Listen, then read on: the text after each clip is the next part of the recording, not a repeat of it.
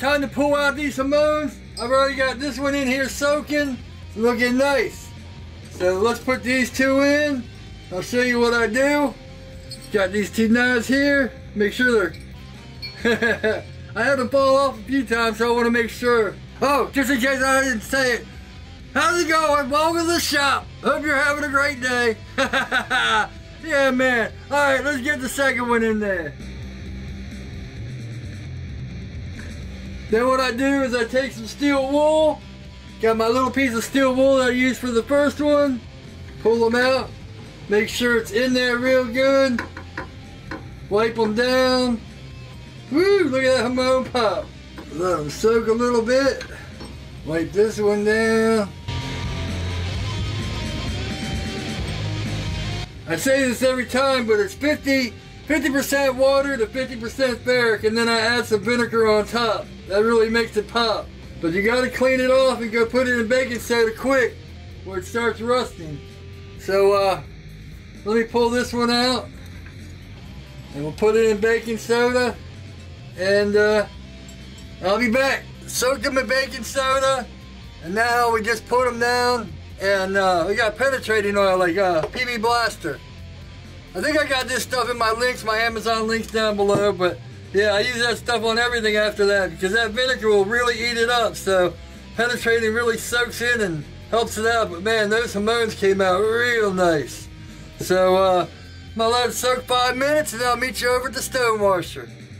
Yeah, man. so I put some Windex in here.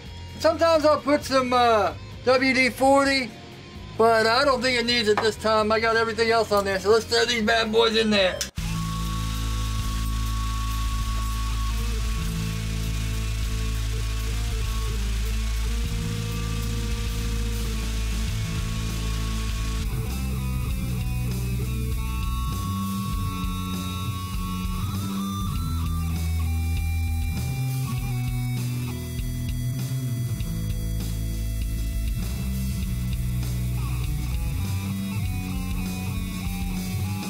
As you can see, I soaked them again in penetrating oil, but man, I hope you can see those stone washers because they came out real nice. yeah, man. You can see it soaking in penetrating oil and all that, but man, the hamons are in there awesome. Yeah. So now we just gotta get to the buffing wheel and uh, I'll show you what I do to make it mine. I haven't seen anyone else do it. So don't be stealing my ideas. to the buffing wheel. All right, we already did this one for Instagram. yeah. I love the mirror on the bottom. That's why I go to a mirror finish. No hand sanding either. See, all dark. The Hamon's there. We're just gonna make it mirror. with stonewash on the back. Here we go.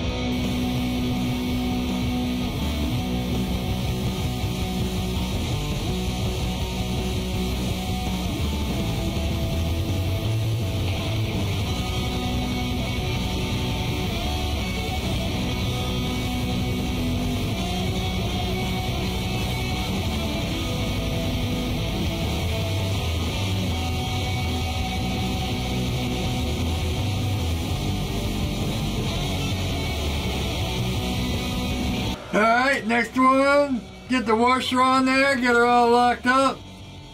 Yeehaw! Man, this makes it so much easier. and these wheels, I ruin them because the best way to make the hamon pop out is put some oil on it and you'll see it come out more. You kind of shine it in the light, like I can see it right here. But if I put oil on it, it'll really come out. Put a little bit of oil on it.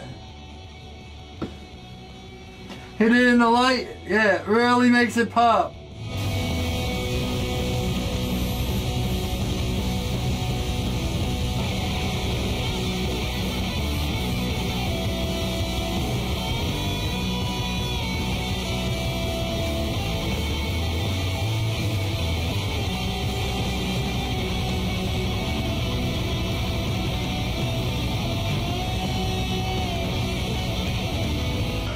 Alright, let's go see how they look on their knives. I went ahead and sandblasted these. And I figured when I put the quarter inch uh, pivot in here and then clamp on the back, it holds this flat. So I can do all that. I already did this one for Instagram. yeah, man. Woo! Now I was thinking, I, I ordered some detents, some ceramic detents, and I'm gonna do it like Ecom Knife shows, so I can wear this in and see how it works. Because I don't feel confident, because this uh, screw will probably wear after time. Also, since we're working with titanium, I got my shaded glasses. I still need to see, but they're shaded. You got a 120 on here, let's do it.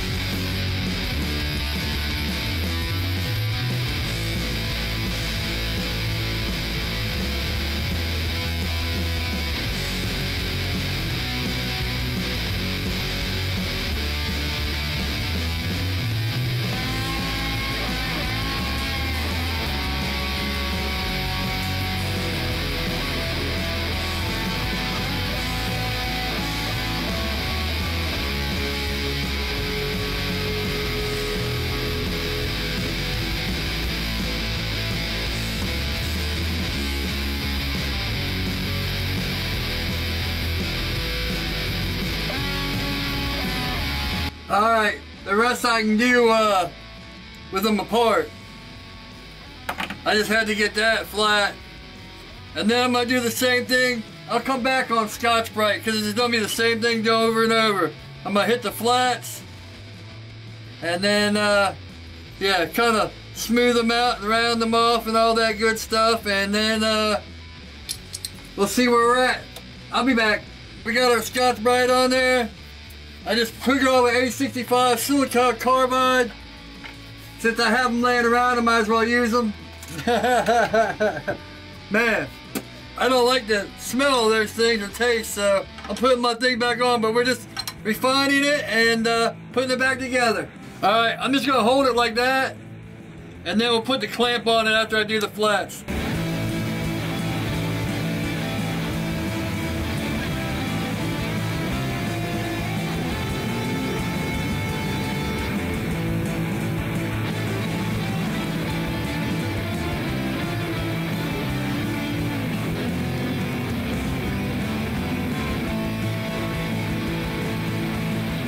That's one thing about Scotch-Brite.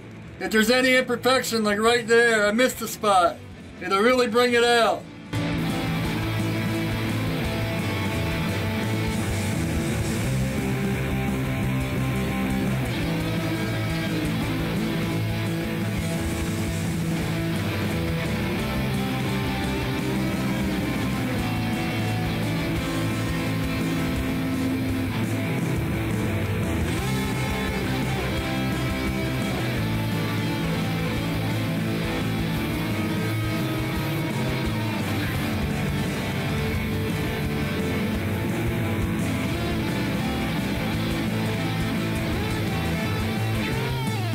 Alright, I gotta go back down and get that little spot right there.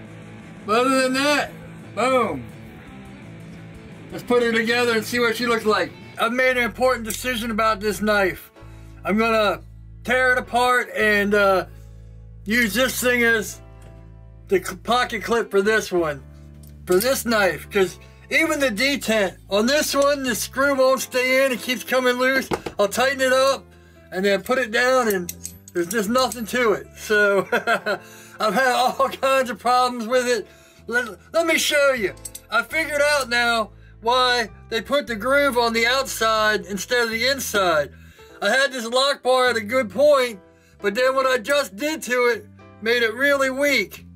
I took off too much just to smooth it out. So there's one reason you don't put the groove on the inside because then when you clean it up, you take more off of it. But yeah, so that's one problem.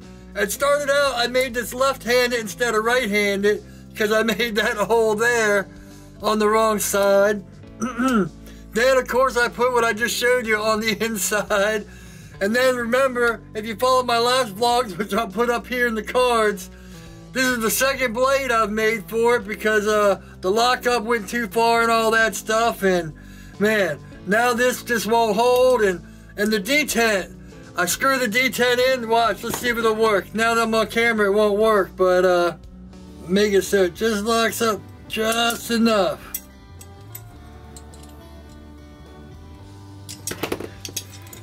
So, yeah, see?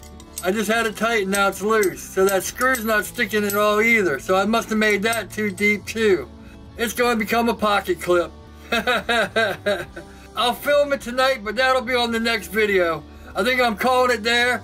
Make sure to like, comment, you know, leave me some comments. What would you do?